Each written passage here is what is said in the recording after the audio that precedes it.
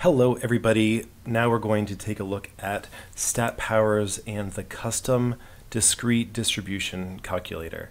There's a lot of neat features here and so I'm going to try to go through all of them to show you how you can use it in its various different ways.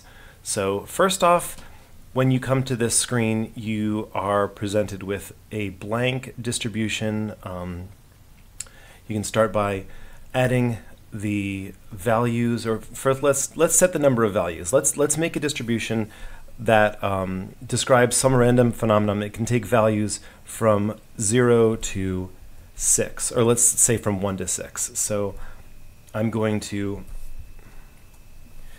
uh, notice I click put in the number one, and then I clicked on auto increment. It, it is smart enough to look at that number and say, okay, all the numbers after it are going to be just incremented one, two, three, four, five, six. So that's that's handy.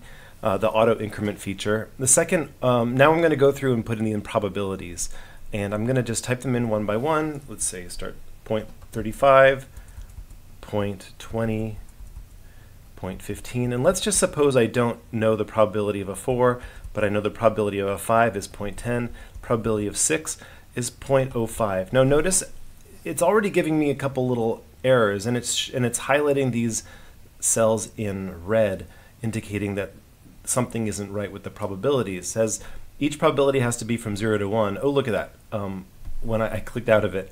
Um, but it was telling me that I can't, um, it, it, only added up to 0.8, but, or 0.85, I think. And then it, when I clicked out of it, it said, oh, okay, well, the missing value must be 0.15. So it has this ability to, uh, to fill in the missing value if you are missing it. Now, okay, so we've got our distribution. We have cumulative probability uh, given in the last column. That's calculated as soon as this is a valid distribution. And um, down below, you can see it's giving me the expected value of this distribution the variance and the standard deviation. And now it says probability 0.15 because there are five ways of asking for probability. I've already selected the probability that x greater than or equal to 5. So this that's what this is telling me. The probability that x is greater than or equal to 5 is 0.15. Um, let's let's click this and look at the probability chart, which is a um, probability mass function. And I can um, I'm going to see, you can see how the, I have these uh, bars.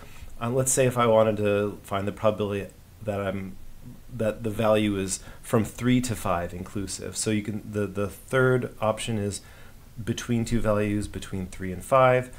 Um, it's highlighting those in green and also I've got the probability down below is 0.4. I can choose checked values, which is if I just want to select a few of these one by one. I can select those and I'll get the sum of those probabilities down below. So that's really handy. Okay. Now let's let's take a look at. Um, uh, I'm going to re refresh this and start over with a different way of adding uh, a different way of doing uh, this. I'm going to look at um, binned data. Okay, so let's say my, and I'm going to actually go to enter frequencies instead of enter probabilities. So let's say I've collected some frequency data, and let's let's start with. Now these, I want to actually let's. I'm gonna I want to clear this stuff out, so I'm going to start with. I'm going to just say there's one, and then I'm going to change it to. Um, uh, five different values, and the first value 2 to 4. Oops, I want to use bins.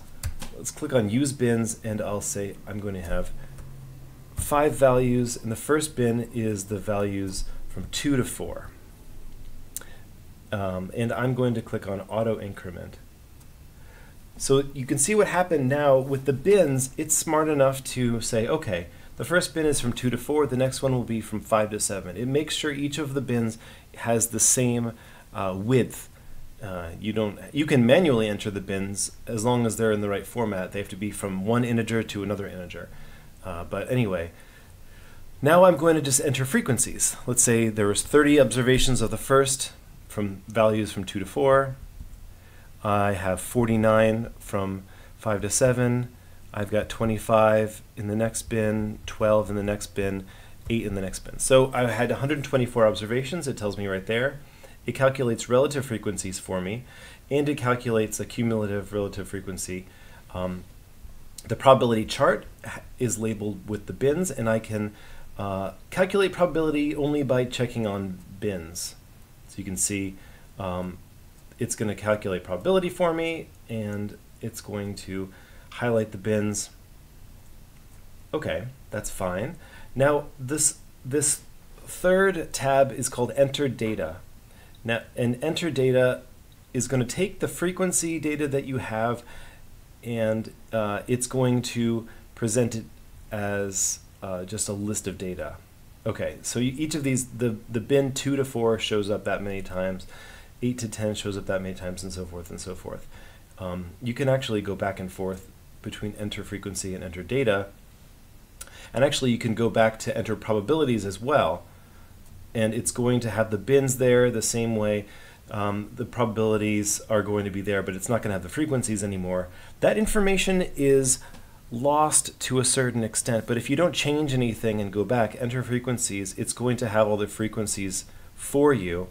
Um, and it, it's able to keep that information. But if you start, if you go to enter probabilities and start changing the probabilities around, it's going to try to come up with the right number of frequency, but it may get it wrong. Um, it, it, can only do the best it can do. Now, um, I'm going to start over from entering data and show you kind of that way of, of making an empirical distribution. Uh, so let's clear this. Okay, and I'm going to go to enter data. We have a blank data table, and I'm going to just uh, copy in a, a set of data. Okay, I've got some discrete data. Okay, so you come here. Um, I'm going to paste in some discrete data that I copied from the book.